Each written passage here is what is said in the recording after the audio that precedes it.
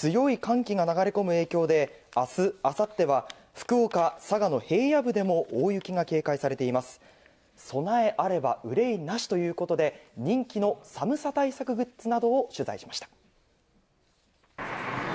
まざまな寒さ対策グッズが並ぶホームセンター。近づいてきましたのでまずこういった自分の身の回りを温めるこのような湯たんぽの売り上げというのが非常に伸びております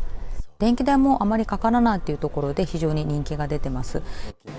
小型の電気ストーブを家のあちこちや職場に持ち運んでスポットで使う人も多いそうです、ね、一方意外にも根強い人気を誇っているのが。石油ストーブもあのいろいろな大きさはあるんですけれどもパワーが違うっていうのとうまく併用されてる方が多いですよね。非常に光熱費っていうのを抑えられるのではないかと思います岡や佐賀では明日未明から明後日にかけて平野部でも積雪の可能性があります。そんな中心配なのが慣れない雪道での運転です。可能であればもう雪が降りそうな時には車で出かけられない方が一番なんですが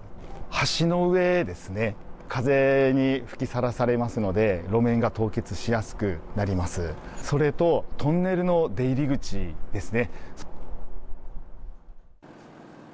凍結時に必須なチェーンも注意が必要です。作業時は怪我防止と防水のために軍手とゴム手袋の2枚重ねがおすすめ。さらに。